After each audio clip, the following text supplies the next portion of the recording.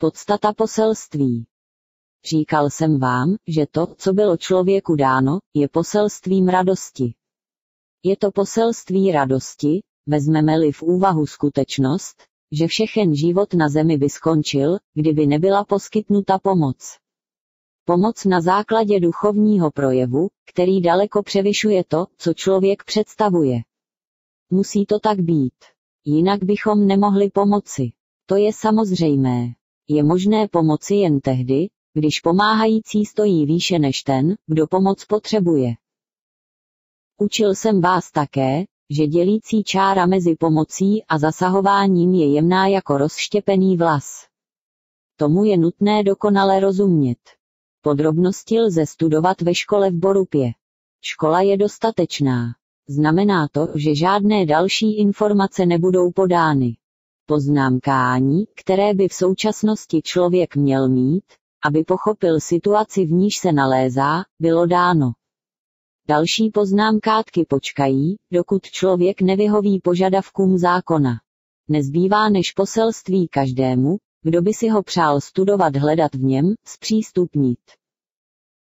Žádám každého, kdo se o tuto věc zajímá a cítí se být přitahován tímto poselstvím, aby se seznámil s průběhem událostí, které nastanou. Ale také s filozofií, která je zatím, čemu říkáte létající talíře. Žádal jsem, aby toto poselství a učení mohlo být rozšířeno po celé zemi. Žádal jsem také, aby k tomu nikdo nebyl nucen. Jestliže se chcete o toto poznámkání podělit s jinými, můžete dát vytištěné materiály těm, kteří o ně žádají. V hlase z nebes poselství začínají formou krátkých a jednoduchých vět. Postupně se různé body rozvíjejí hlouběji, takže když tuto, duchovní školu, ukončíte, měl by být jednotlivec schopen všechno pochopit.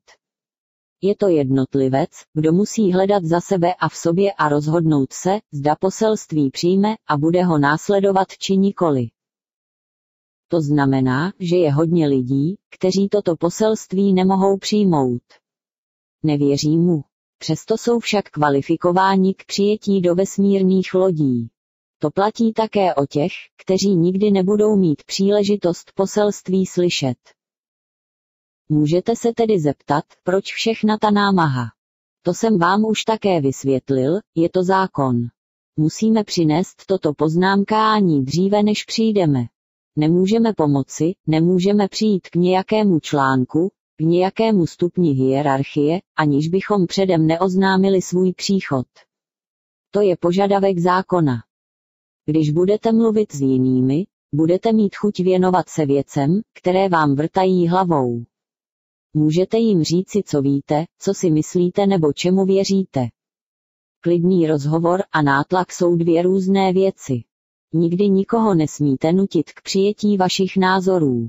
Každý jednotlivec se musí snažit sám pochopit život a zákony života. Každý může podat ruku. Dává tak poselství každému, kdo o to požádá.